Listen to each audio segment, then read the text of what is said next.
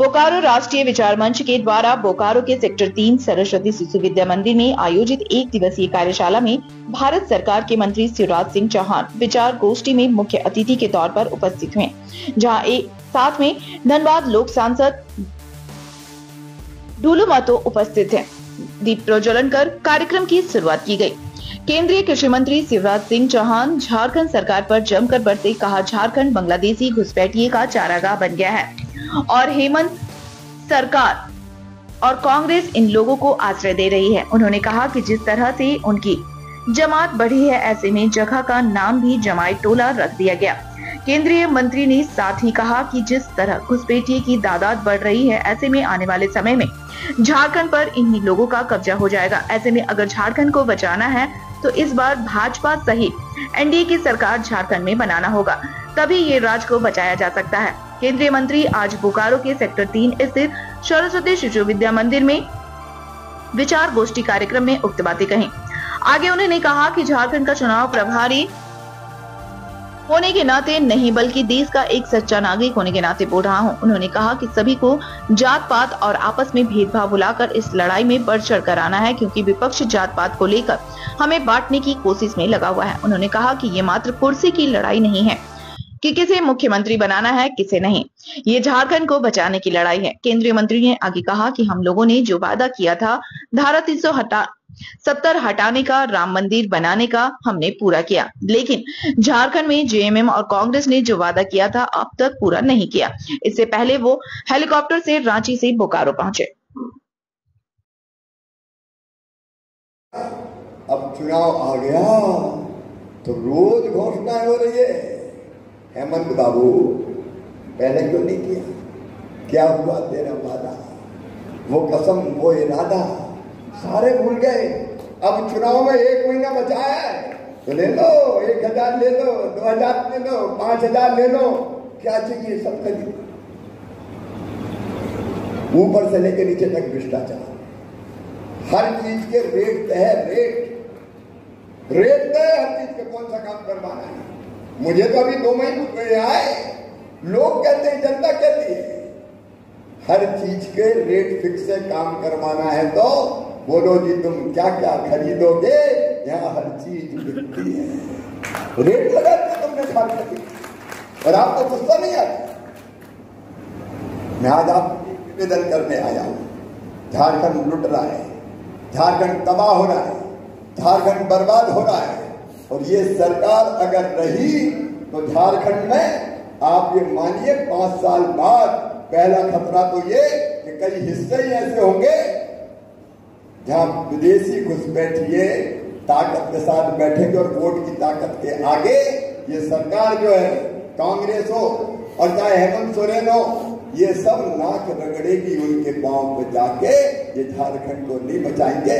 हम तबाह बर्बाद और इसलिए ये चुनाव मैं आज आप सबसे निवेदन करने आया हूँ, ये चुनाव किसी को सत्ता के स्वर्ण सिंहासन पर बैठाने के लिए नहीं है।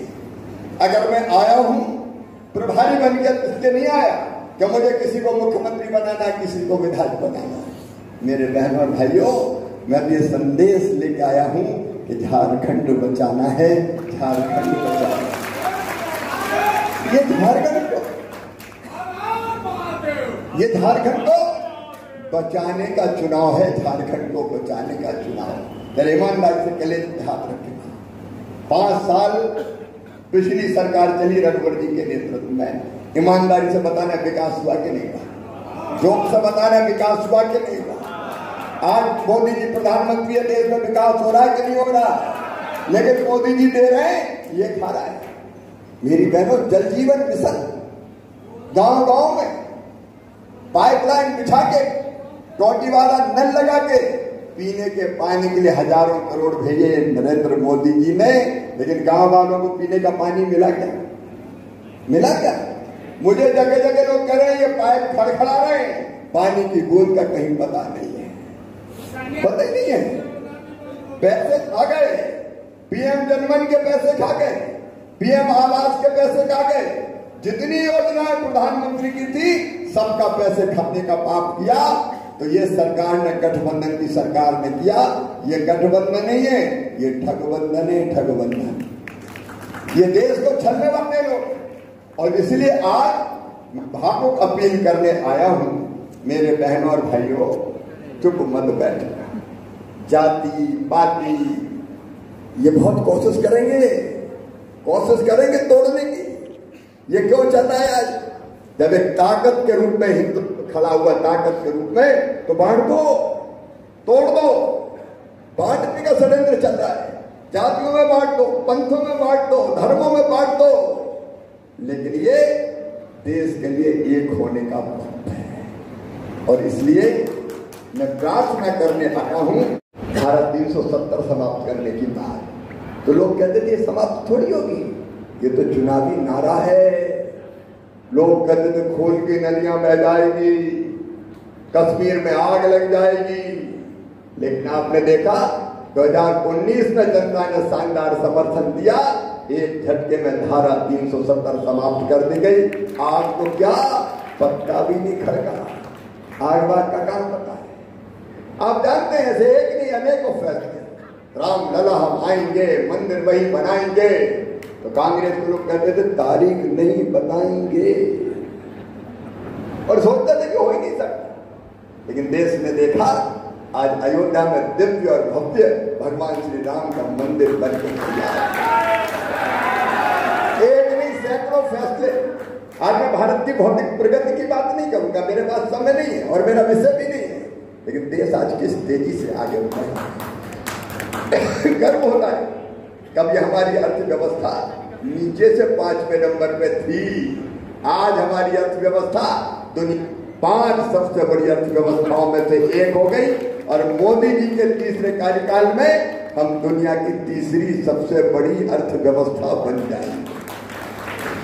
विकसित भारत का संकल्प नरेंद्र मोदी जी ने लिया है, जिसके निर्माण में हम लोग दिन और रात लगे हैं, लेकिन एक तरफ़ गर्व होता है दूसरी तरफ़ चिंता होती है। देश में कई जगह हो क्या है? झारखंड में क्या हो रहा है? याद करो मित्रों, कभी अटल बिहारी वाजपेयी जी ने कहा था, ये देश हमारे लिए ज़मीन का टुकड़ा नहीं है, जीता जागता राष्ट्र पुरुष है। हिमालय इसका मस्तिष्क है, गौरी शंकर इसकी शिखा है, पंजाब और बंगाल इसके दो मिसाल बाहु है, दिल्ली दिल है, विंध्याचल कटी है नर्मदा करदनी है, पूर्वी घाट और पश्चिमी घाट, इसकी दो विशाल गंगाएँ हैं, कन्याकुमारी इसके पंजे हैं, सागर इसके चरण उतार पखारता है। सूरज और चंद्रमा इसकी आरती उतारते हैं ये अर्पण की और तर्पण की भूमि है। ये वीरों की और सूर्यों, सूरों की भूमि है। ये ऋषि और महर्षियों की भूमि है। यहाँ का कंकर कंकर हमारे लिए शंकर है।